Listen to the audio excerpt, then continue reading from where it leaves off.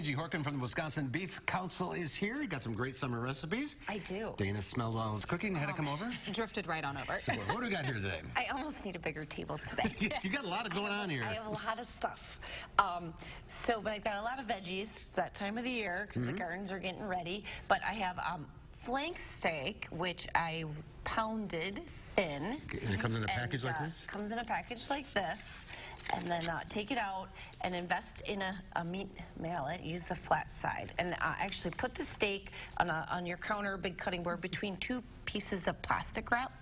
And I'll kind of so then you don't have stuff flying all over. Yeah. And pound it thin, flip it over, pound it again. Um, makes it a little bigger.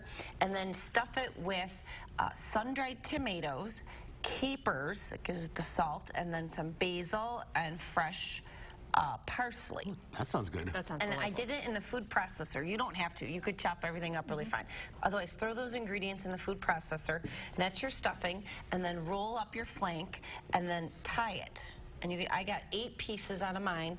And then um, you want to cut it across the grain. So roll it up so the grains are running this way and then slice across the grain and that's going to tenderize it. Otherwise, usually you marinate flank steak. Like I love marinating it for fajitas. And how long do you put it on the grill? Um, a little bit longer, about 15 minutes, because these are about these are pretty thick pieces, about an inch, inch and a quarter.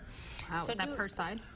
Uh, no, total. Oh, I, total. Do, I do five minutes, flip them, do another five, then check them. It's a little bit harder to put a meat thermometer into a pinwheel like this with the stuffing and everything, but once you get the outsides all done, I got a nice little char on the top, you know it's ready.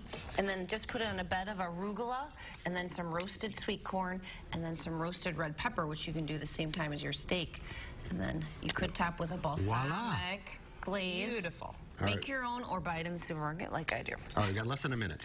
Okay, so gazpacho steak salad, it just screams summer. So I've got a bed of mixed greens, and we're gonna add green pepper, tomato, cucumbers, Whatever you like. whatever you like, or Everything garden stuff. Mark, you stir that up. Then I made a homemade That's- dressing. And now I used a can of v spicy V8, and then in there is some garlic, some red wine vinegar, extra virgin olive oil, some more tomato, some more green pepper. And then putting this on Wait, it? Hold on. Gotta put and the then meat the chuck Meat first. steak. Don't forget the beef. So this calls for chuck steak, but you could use any steak. But chuck needs to be marinated. Marinate it in a second can of the spicy V8, at least 24 hours. So overnight in the refrigerator. Now you can put the dressing. on. Okay, here we go. Beeftips.com. And then grill the chuck.